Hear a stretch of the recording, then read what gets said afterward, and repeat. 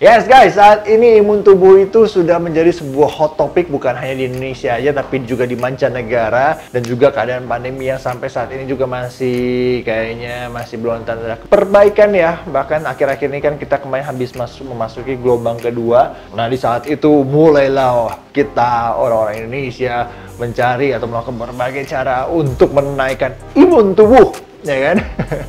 Dan gimana caranya berusaha untuk menjaga biar imun tubuh ini tetap baik, which is good, bagus banget. Tapi jangan sampai termakan hoax, hoax please gitu. Masa uh, minum susu beruang sampai minum minum ASI buat penangkal COVID. No man, come on, jangan sampai panik buying ya gara-gara hal-hal yang nggak jelas. Belum ada studi ilmiahnya juga gitu. Gue minum susu beruang setiap hari, hampir setiap hari. Tapi dari dulu, dari sebelum pandemi. Buat apa? Buat pencernaan, bukan buat COVID ya. Jangan diulangin lagi karena gue kesusahan mencari susu beruang.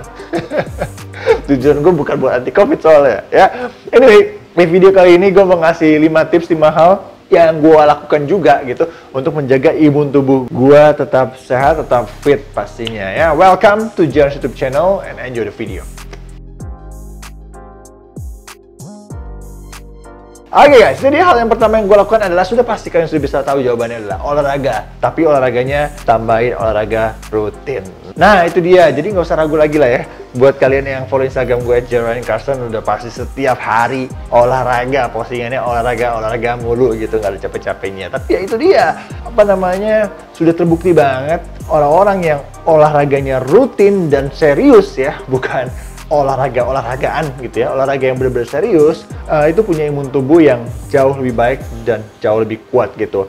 Dari lingkungan gua pun orang-orang yang kuat olahraganya sedikit banget sih yang sampai uh, terkena virus COVID ini gitu. Dan kalaupun ada, itu cuma sedikit dan gejala mereka juga sangat super ringan banget, bahkan recover itu lebih cepat juga gitu. Jadi, tapi itu tanpa komorbid ya. Kalau ada komorbid, beda cerita lagi gitu. Jadi uh, kalau buat gue pribadi, gue melihat banyak lihat uh, teman-teman gue yang seperti itu yang yang, yang olahraga kuat. Jadi buat gue cukup yakin kalau olahraga yang rutin, yang serius itu pasti bikin umur tubuh kita uh, jauh lebih baik. Jadi saran gue coba deh kalian olahraga yang rutin 4 sampai 5 kali seminggu ya. Dan gak perlu lama-lama 30 sampai 40 menit aja. Tapi ketika kalian latihan bener please serius fokus ke latihannya ya. Jangan terlalu banyak istirahatnya. Atau punya cuma waktu 15-20 menit ya silahkan sok monggo gitu. Better, better than nothing uh, dan kalian bisa lakukan hit ya 20 menit coba silahkan. Itu benar-benar bagus banget. Jangan kalau cuma 20 menit doang latihan main HP latihan duduk latihan satu set minum kopi. Jangan kayak gitu. Jadi fokus benar-benar latihan ya. Uh, 4 sampai 5 kali seminggu. Jadi olahraga yang itu yang pertama. Yang kedua yang gue lakukan adalah berjemur. Dan ini juga baik yang orang lakukan juga. Dari awal pandemi sudah mulai banyak yang aware juga pentingnya dari berjemur yaitu vitamin D-nya dari sinar matahari. Cuman ini ada permasalahan juga nih karena udah kayak agama nih jam berjemur. Ada yang jam jemur pagi ada yang jam 8 jam 10 ada jam 11 sampai jam 1 ya lakukan research masing-masing lah ya. Dior do your own research dan ikutin aja uh, agama kalian itu. Mau yang pagi atau yang siang berjemurnya gitu ya. Tapi yang penting kita mengusahakan untuk mendapatkan vitamin D3 nah ketika berjemur pun juga jangan pakai baju begini karena D3 itu atau sinar UVB itu susah untuk menembus. Nggak bisa juga menembus baju-baju seperti ini atau bahkan di kaca. Nggak bisa. Jadi kalian mesti benar-benar langsung terkena kulit area kulit gitu. Dan ya dicobalah diusahakan gimana caranya bisa terpapar langsung dari sinar matahari ya. Langsung ke kulit. Kalau soal berjemur jam berjemur kalau misalnya kalian nanya gue ya gue alirannya yang jam 11 sampai jam 1 siang. Jadi kalau kalian lihat kan postingan-postingan gue gym-gymnya tuh jam 11 jam 12 kalau olahraga di rumah ya gosong-gosong.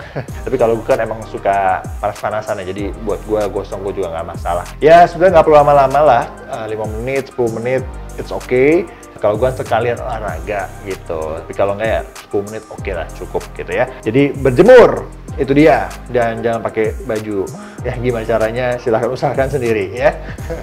Dan yang ketiga adalah minum suplemen dan juga vitamin. Ini penting banget karena juga D3 itu kan kita perlu banyak ya. Dan kalau tiap hari cuman dari matahari matahari aja kayaknya agak kurang juga apalagi kalau kita berjemurnya di jam yang salah. Nah, mana yang benar dan salah nggak ngomong, terserah agama kalian aliran yang mana, pagi atau sore gitu. Siang atau pagi atau siang gitu. Jadi, tapi nggak cuma D3 doang. Vitamin-vitamin lain yang itu juga penting. Kalau gue juga minum ada zinc, ada magnesium, multivitamin gue juga minum ya apa pun itulah suplemen juga ya gue minum susu susu protein juga kan protein kan juga bagus banget buat tubuh kita kayak gitu. Karena menurut gue dari makanan aja nggak cukup apalagi yang makanannya yang ala-ala diet-dietan atau yang makanannya sembarangan, ya, junk food, fast food, goreng-gorengan, ya susah lah pasti dapat nutrisi-nutrisi yang bagus susah atau makan makan yang bagus susah gitu. Jadi suplemen vitamin maksudnya untuk mendapatkan yang cukup itu susah. Jadi perlu bantuan dari suplemen vitamin yang yang oral yang tersendiri gitu. Jadi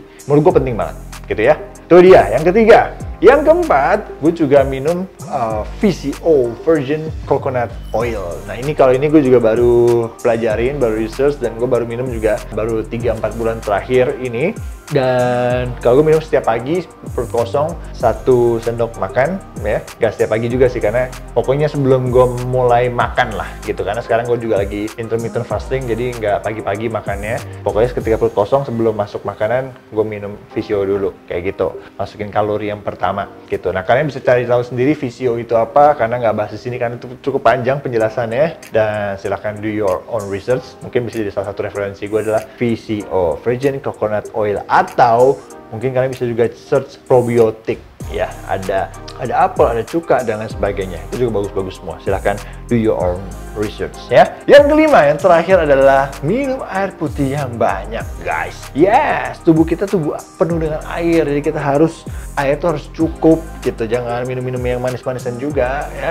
Banyakin lah air putih. Kalau gue satu hari minimal 3 liter biasanya sih 4 liter udah naik lagi dan ya tubuh manusia 6 sampai 70% kan adalah air. Jadi jangan sampai kita kekurangan cairan. Dan kalau kekurangan cairan, maka tubuh kita itu secara otomatis akan mencari sumber air dari komponen tubuh kita itu sendiri, yaitu adalah darah. Nah, makanya ketika kita kurang minum air, kadar air dalam darah kita berkurang dan akhirnya adalah menyebabkan kekentalan darah dan itu bahaya banget. Karena tugas darah itu kan salah satunya mengantarkan uh, oksigen uh, sebagai alat transportasinya dan juga zat makanan. Nah, kebayang nggak kalau jalurnya itu ngadat ya?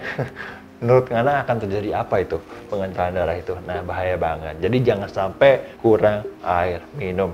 Alright, itu dia tips simple dari gua.